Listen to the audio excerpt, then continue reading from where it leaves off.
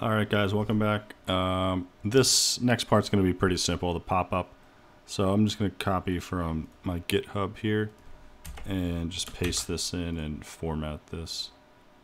Actually, it looks ugly. That's fine. Um, but this should work because we're passing activity and we just need to make sure we name this activity name up here. And we did. So now let's try this. And I think we'll add one more item to that pop-up. Um, just because there's a lot of cool details we could display there. So now if we zoom in and click, it says lunch run. So that's cool. Uh, let's see what other cool piece of info we could add. Um, am I not? I'm not printing it, so I don't know what to look for. So let's Um, let's just print out this.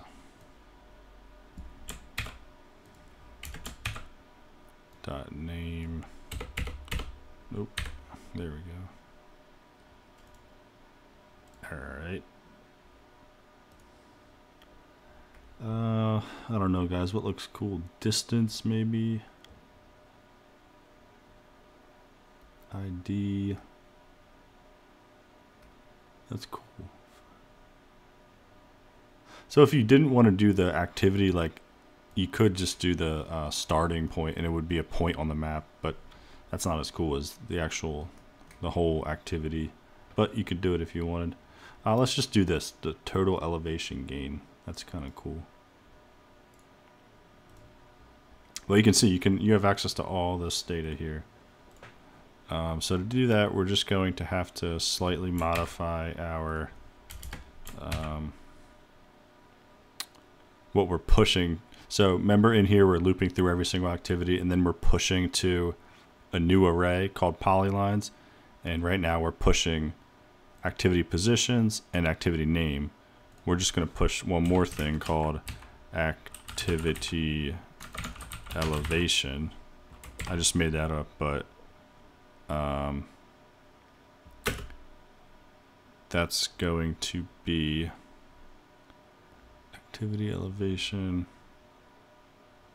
Oh, we didn't define it up here. It's going to be activity. I gotta work. I'm used to Python and I usually use underscores. I should do camel case, but who cares? It's fine for now.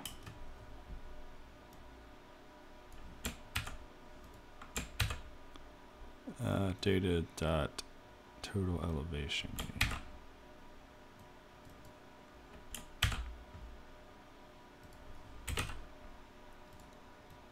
Okay. And this is just going to be this. That looks good. Now one other thing to consider, we have to add it to our interface. So we have to add um, let's call it activity elevation and this is going to be a number I think.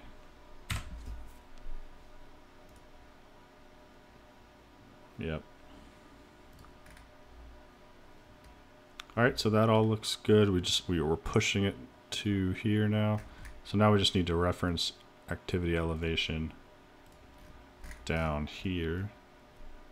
And instead of an H2, let's use a paragraph and just say total elevation gain. And just add that in. Put curly braces around it because that's a variable. And it's actually activity dot activity elevation.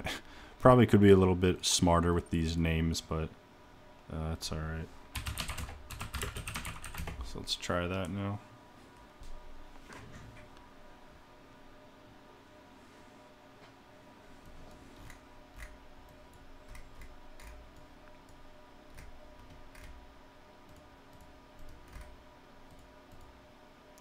Total elevation gain, 16.1.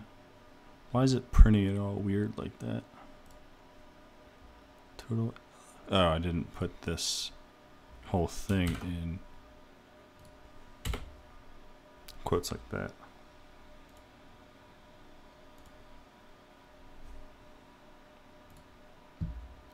All right.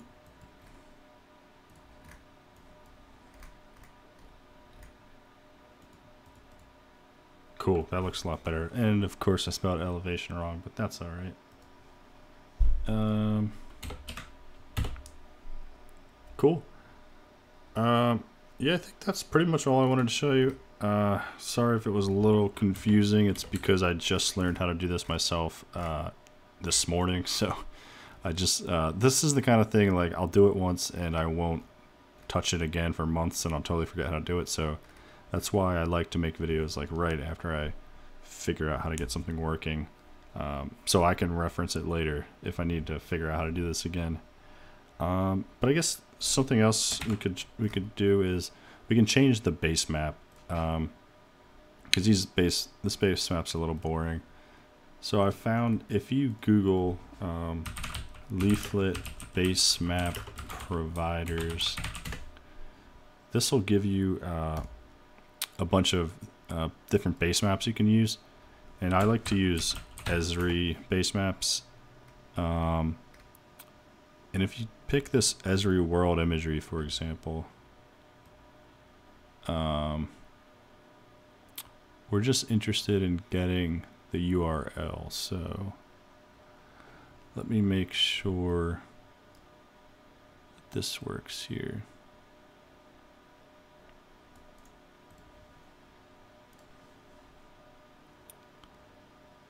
So if we copy that here and paste it, should work. Let's just try it.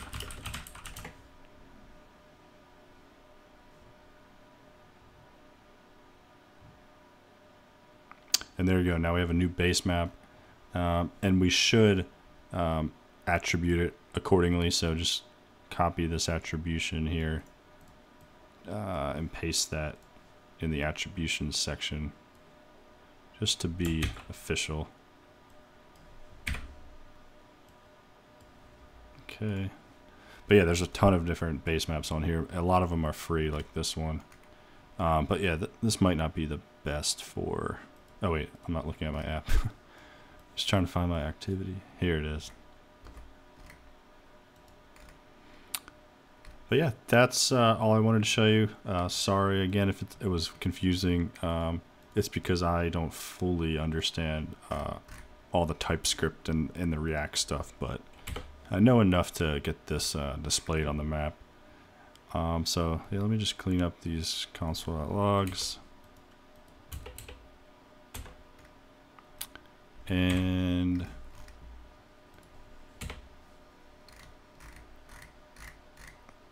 all right, that's all. Uh, if you like this, please like and subscribe, and thanks for watching.